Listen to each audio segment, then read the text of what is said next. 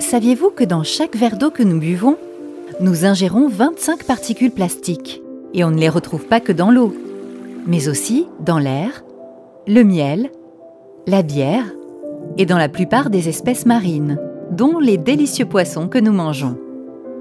D'une taille inférieure à 5 mm, les particules de microplastique sont quasi invisibles et ont plusieurs origines.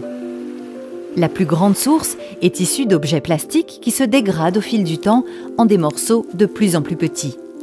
Mais nous en libérons aussi sans le savoir durant notre quotidien.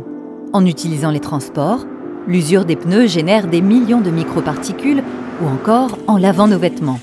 À chaque lavage, des millions de fibres plastiques se retrouvent dans les eaux usées avant de rejoindre l'océan. Nous participons tous à cette pollution invisible dont les effets sur notre santé et l'océan sont encore méconnus. Surfrider Océan Campus, apprendre et agir pour l'océan.